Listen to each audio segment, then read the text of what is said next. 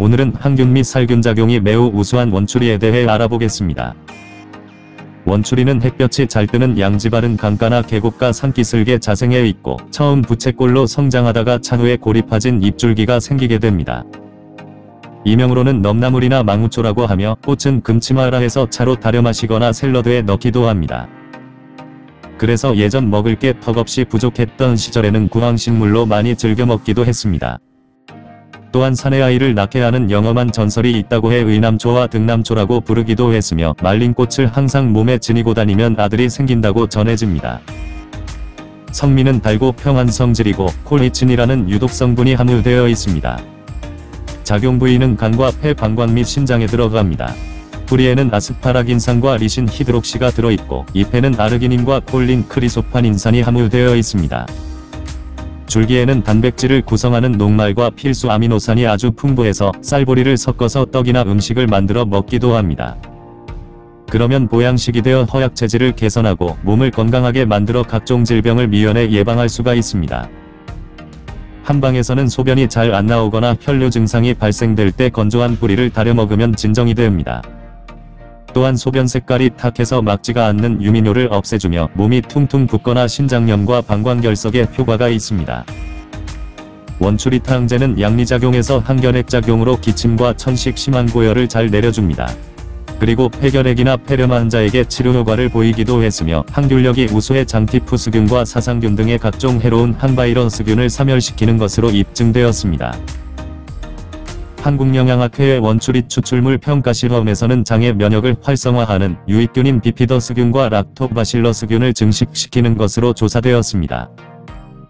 반면에 식중독을 일으키는 유해균인 퍼프린젠스와 대장균의 콜리의 생육을 억제시키는 것으로 나타냈습니다. 그 결과를 원추리는 장내균총을 개선시킬 수 있는 유망한 소재로 선별되기도 했습니다. 특히 주혈흡충을 죽이고 위장염과 장출혈 등을 멈추는 효과가 있었습니다. 주혈흡충은 달팽이나 우렁이 등의 기생을 하는데 피부를 뚫고 들어와서 내장기관에 치명상을 입히고 간경화와 간경변의 간세포 장애를 일으키게 됩니다. 해마다 환경오염으로 인해 주혈흡충 환자 수가 점차 늘어만 가고 있는 실정입니다. 국내에서는 생선회나 육회 등을 날로 먹는 식생활이 많다 보니 특히 간디스토마와 페디스토마 또는 각종 기생충에 전염이 되는 경우가 종종 발생하게 됩니다. 그러므로 이런 경우에 원추리 뿌리를 푹 다려 먹으면 그 어떤 치료제보다 좋은 효과를 낼 수가 있습니다. 특히 원추리의 몇 종의 성분들이 간디스토마 80% 이상을 살충하는 효과가 입증되기도 했습니다. 경성대학교에서는 원추리 뿌리 추출물에서 신경세포 독성에 대한 억제 효과가 나타나서 알츠하이머병 및 치매에 대해서 유효성을 증명하기도 했습니다. 치매에는 원추리 뿌리와 녹은 각 10g의 물 1.5리터를 붓고 물의 양이 발량이 되게 달여서 하루 2-3회씩 식후에 드시면 됩니다. 그 밖에 성신여자대학교에서는 구강 위생균에 대한 강력한 항균 특성을 보여서 잇몸병과 충치를 예방하는 데 효과적으로 활용될 수가 있습니다. 원추리는 줄기와 꽃을 식용으로 사용하고 뿌리는 주로 말려서 약재로 사용합니다. 봄나물로 사용할 때는 뿌리와 잎은 독성이 매우 강하므로 뿌리와 잎은 떼어내고 흰 줄기만을 식용으로 사용하는 게 안전합니다.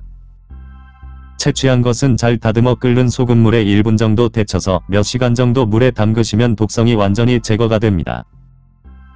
그리고 찬물에 헹군 다음 물기를 빼내고 초고추장과 참기름을 넣고 몇 가지 부가재료에 맞추어 간단하게 무쳐 먹으면 됩니다.